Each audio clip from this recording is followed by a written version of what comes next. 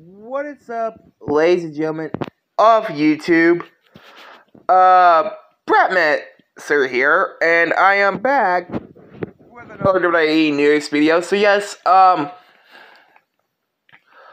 what is this one about? Well, if y'all did not heard this yesterday, Mustafa Ali is requesting for his WWE released.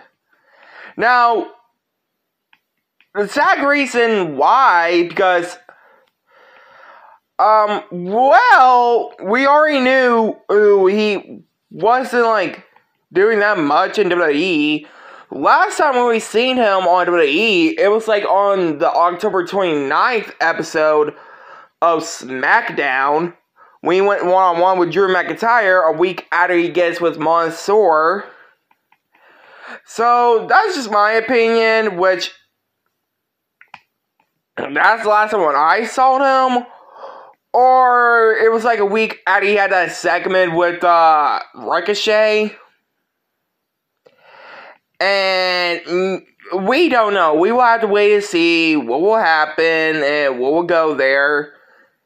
But um, yeah, guys. Um, do you guys think Mustafa Ali should be released for WWE? Even though, like I said, he hasn't been doing much of jack nothing, or whatever, or it will happen. Let me know down in the comments below. I hope you guys like, comment, subscribe.